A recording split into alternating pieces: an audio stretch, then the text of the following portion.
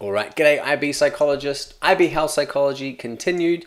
We have looked at cognitive and social, cultural explanations of stress, and now we're getting into biological explanations.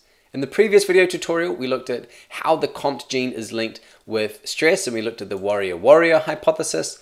We're going to give further explanation as to why that genotype is linked with stress.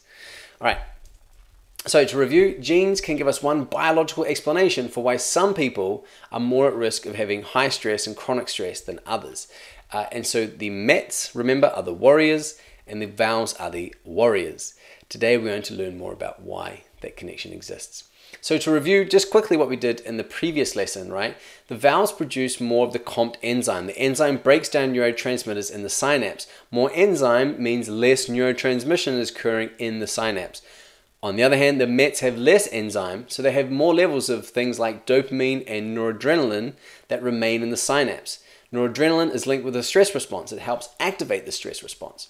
So if you've got less COMT enzyme because of your genotype, you're a MET-MET, then that means you're going to have more neuro, uh, noradrenaline remaining in the synapse to continually be neuro, uh, to continually being firing and binding to the postsynaptic neuron, right, relaying those messages.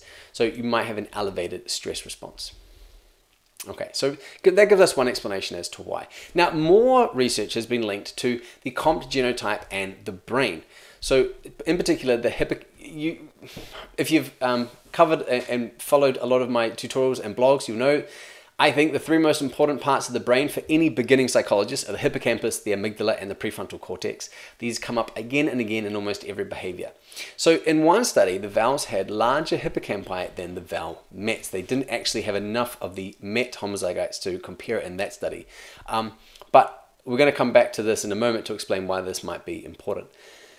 The METs, in a different study, METs who experienced ACEs are more likely to have reduced hippocampal volume and other research as well, and you can read more about this on our blog post if you just Google, uh, go onto our blog and search stress and hippocampus or type into Google Themantic stress hippocampus, you'll find out that um, a small hippoca- uh, hippocampal volume, small hippocampus, can actually predict stress. We know that chronic stress shrinks the hippocampus, but actually it can work in the opposite way as well. Um, now, what's really important to note here about the hippocampus, you might already know that it is linked with memory. So it helps to consolidate memory, make short-term into long-term memory. If you uh, covered the famous case of HM or Clive Wearing, the guys who have had their hippocampi removed, they can't make new memories. But the hippocampus is also linked in the stress response. Right, so this is the hippocampus here. We can break it down into the dorsal and the ventral, right? Dorsal meaning top, ventral meaning bottom. Now, one function of the ventral hippocampus is the regulation of the HPA axis, the hypothalamus pituitary adrenal axis. And so the regulation of the HPA axis um, uh, is really important to the stress response, right? Because if you can't shut down the HPA axis, you're going to have elevated levels of stress. So what they've found in animal studies is that if you lesion, right, you damage the, the, the neurons in the hippocampus, there's a higher anticipatory stress response. So meaning when an animal is um, anticipating, realizing that something scary is going to happen, right, they have an elevated response. And also their AP, HPA axis uh, is activated for longer. That's if you damage the hippocampus. So we know that the hippocampus is linked to the stress response. And we go back to those earlier studies linking the genes to the brain, the hippocampus, that could give us more of an explanation. Other studies have found if you, we stimulate the hippocampus with um, electrically, it reduces cortisol levels following a stressor, which suggests it's helping to inhibit the activation of the HPA axis.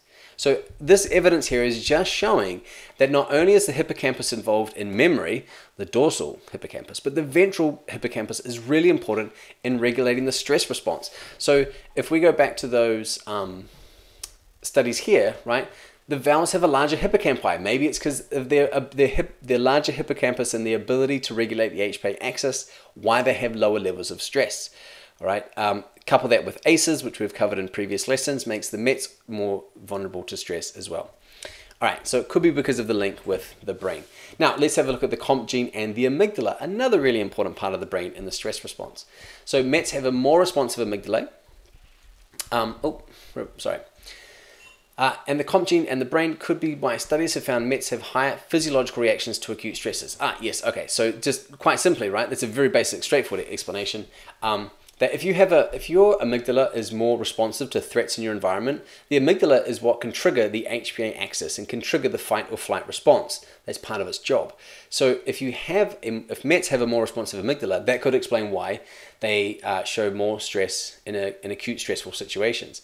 And actually, that's what the key study in this lesson in the textbook and in all the support um, packs you can find. That's what this study shows. If you they took um, people with the VALVAL homozygote and the MET-MET, and they put them in the Trier social stress test, and they found that the METs have the more higher acute physiological stress response in a stressful situation. That could be because more levels of noradrenaline, um, the link with their amygdala reactivity, could be linked with their hippocampus, could be a number of these factors. But these are all possible explanations as to why the COMT gene is linked with stress. All right, and so hopefully that now makes sense. Now, what we're doing here is we're just adding depth to your explanations, in that you can say, sure, I know what the warrior worrier hypothesis is, I know what the COMT gene is, I know how it's linked with stress, and then you go further and go why, and you've got two studies there to support that. That would make for a fantastic explanation for a health problem like stress, and also for paper one for the genetics link. What I really like about this example, this is more for the teacher's point of view here, is that it can there's some basics for every student to understand and it has the whole depth of explanation possible so every student can be explaining this to the depth that they're confident with. Um, so I, I, like that. Anyway okay so again this is all covered in our ebook. Uh, keep checking the blog for updates. All of this information is slowly going up on the blog along with exam advice and assessment tips. Uh, if you hit the subscribe button then i try to send out uh, weekly emails with all the new latest blog posts and check out the store for updates. We've also got Facebook groups for students and teachers. I hope that was helpful and coming up in the next lesson, we're going to look at the biopsychosocial model.